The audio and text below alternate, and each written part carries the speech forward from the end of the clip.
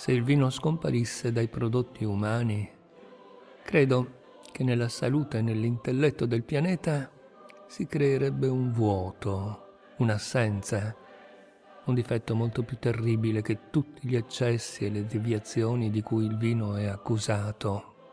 Non è ragionevole pensare che chi non beve mai vino, ingenuo o abitudinario, sia imbecille o ipocrita. Imbecille, in vero, chi non conosce né l'umanità né la natura, un artista che respinge i mezzi tradizionali dell'arte, un operaio che bestemmia la macchina, ipocrita, ovvero goloso che si vergogna, il lantatore della sua sobrietà, che beve in segreto e che ha qualche vino nascosto. Chi beve solo acqua ha un segreto da nascondere ai propri simili. Giudicate voi. Alcuni anni fa, a una mostra di pittura, la folla degli imbecilli si commosse davanti a un quadro levigato, lustro, verniciato come un oggetto d'industria. Era l'antitesi assoluta dell'arte. Stava alla cucina di Drollin come la follia all'imbecillità i seguaci all'imitatore. In questa pittura microscopica si vedevano volare le mosche. Come tutti, ero attirato da questo mostruoso oggetto, ma mi vergognavo di questa singolare bellezza, perché era l'irresistibile attrazione per l'orrido. Alla fine mi accorsi che a mia insaputa ero attirato da una curiosità filosofica. L'immenso desiderio di sapere quale poteva essere il carattere morale dell'uomo che aveva partorito una tanto criminale stravaganza. Scommisi con me stesso che doveva essere profondamente malvagio. Feci prendere informazioni e il mio istinto ebbe il piacere di vincere questa scommessa psicologica. Seppi che il mostro si alzava regolarmente all'alba, che aveva rovinato la sua domestica e che non beveva altro che latte. Ancora uno o due aneddoti e potremo stabilire un dogma. Un giorno su un marciapiede vedo un capannello di persone. Riesco a sollevare gli occhi sopra le spalle dei curiosi ed ecco cosa vedo. Un uomo steso per terra sulla schiena, gli occhi spalancati e fissi al cielo, un altro uomo in piedi davanti a lui, che gli parla solo con i gesti, mentre l'uomo a terra gli risponde solo con gli occhi, tutti e due animati da meraviglioso affetto. I gesti dell'uomo in piedi dicevano all'intelligenza di quello disteso Vieni, vieni ancora. La felicità è qui a due passi. Vieni all'angolo della strada. Non abbiamo completamente perduto di vista la deriva del dolore. Non siamo ancora nel mare aperto del sogno. Coraggio, amico, andiamo, di alle tue gambe di soddisfare il tuo pensiero. Tutto ciò fra tentennamenti e dondolii armoniosi. L'altro era certo arrivato nel mare aperto, d'altronde navigava nel rigagnolo, perché il suo sorriso estatico rispondeva Lascia in pace il tuo amico. La riva del dolore è sufficientemente scomparsa dietro le benefiche nebbie. Non ho più nulla da chiedere al cielo del sogno. Credo anche d'aver inteso sfuggire dalla sua bocca una frase vaga o piuttosto un sospiro vagamente formulato in parole. Bisogna essere ragionevoli. Questo è il culmine del sublime. Ma nell'ubriachezza siete l'iper sublime, come vedrete. L'amico sempre pieno di indulgenza si avvia da solo alla bettola, poi torna con una corda in mano. Certo non poteva sopportare l'idea di navigare da solo e da solo inseguire la felicità. È per questo che veniva a prendere il suo amico in carrozza. La carrozza è la corda e la passa intorno alle reni. L'amico disteso sorride. Ha senz'altro capito questa materna intenzione. L'altro fa un nodo, poi si mette al passo come un cavallo docile e discreto e trasporta il suo amico fino all'incontro con la felicità. L'uomo trasportato, piuttosto trascinato, spazzando il selciato con la schiena, continua a sorridere di un sorriso ineffabile. La folla è stupefatta, perché ciò che è troppo bello, ciò che oltrepassa le forze poetiche dell'uomo, crea più sorpresa che commozione. C'era un uomo, uno spagnolo, un chitarrista, che viaggiò a lungo con Paganini. Questo accadeva nel tempo anteriore alla grande gloria ufficiale di Paganini. Insieme vivevano la vita vagabonda degli zingari, dei musicisti ambulanti, della gente senza patria né famiglia.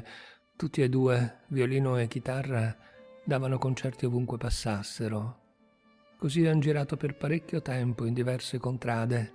Il mio spagnolo aveva tanto talento da poter dire come Orfeo sono il signore della natura. Ovunque passasse, pizzicando le corde e facendole vibrare armoniosamente sotto il pollice, era sicuro d'essere seguito da una folla. Con un simile segreto non si muore mai di fame. Lo seguivano come Gesù Cristo, come rifiutare cibo e ospitalità all'uomo, al genio, allo stregone che ha fatto cantare alla vostra anima le arie più belle, le più segrete, più ignote, più misteriose. Mi hanno assicurato che quest'uomo otteneva facilmente suoni continui da uno strumento che non produce se non suoni successivi. Paganini teneva la borsa, era responsabile della cassa comune, cosa che non meraviglierà nessuno.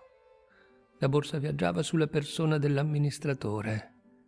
A volte era in alto, a volte in basso, oggi negli stivali, domani tra le due cinture dell'abito.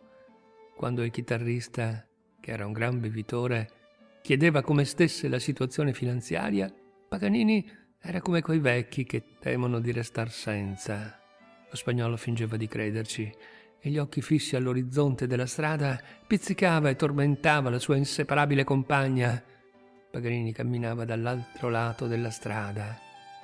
Era un accordo reciproco, fatto per non darsi fastidio. Così ciascuno studiava e lavorava, camminando.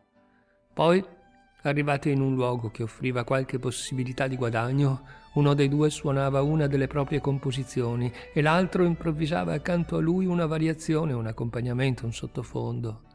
Nessuno saprà mai ciò che è stato di gioia e di poesia in questa vita di trovatori. Si lasciarono, non so perché. Lo spagnolo viaggiò da solo. Una sera arriva in una piccola città del Giura. Fa affiggere l'annuncio di un concerto in una sala comune. Il concerto è lui, nient'altro che una chitarra. S'era fatto conoscere pizzicando le corde in qualche caffè e c'era qualche musicista in città che era stato colpito da questo strano talento. Alla fine vennero in molti, il mio spagnolo aveva scovato in un angolo della città vicino al cimitero un altro spagnolo, un compaesano. Questi era una specie di imprenditore funebre, un marmista che fabbricava tombe. Come tutte le persone che fanno un mestiere funebre, beveva forte. Così la bottiglia e la patria comune li condussero lontano. Il musicista non abbandonò più il marmista.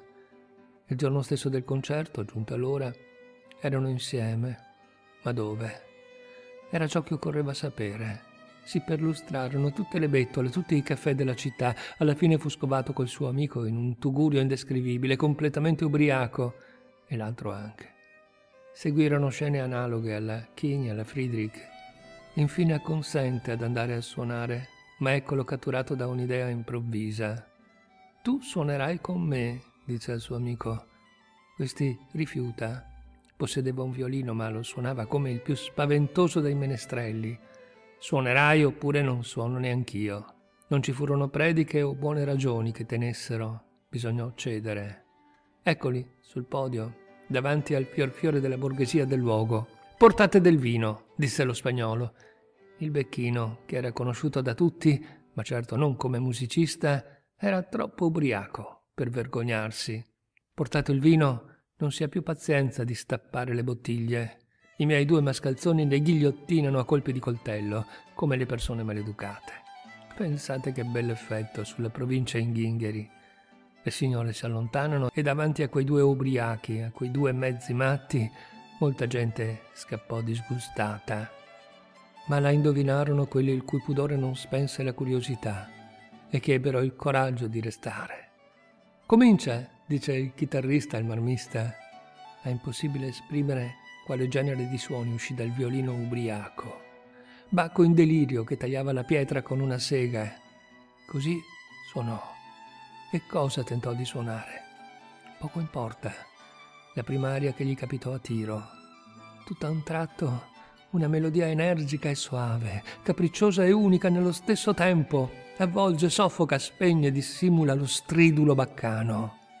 La chitarra canta così alta che il violino non si sente più, eppure è proprio l'aria, l'aria avvinazzata che il marmista aveva intonato.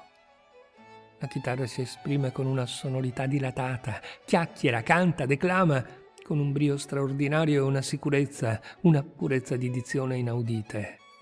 La chitarra improvvisava una variazione sul tema del violino alla cieca, si lasciava guidare da lui e vestiva con splendore e tenerezza materna la tenua nudità dei suoi suoni. Il lettore comprenderà che è un fatto indescrivibile, un testimone vero e serio mi ha raccontato la cosa. Il pubblico alla fine era più ubriaco di lui. Lo spagnolo fu festeggiato, sequiato, salutato da un immenso entusiasmo, ma senza dubbio il carattere della gente gli dispiacque, perché fu l'unica volta che acconsentì a suonare.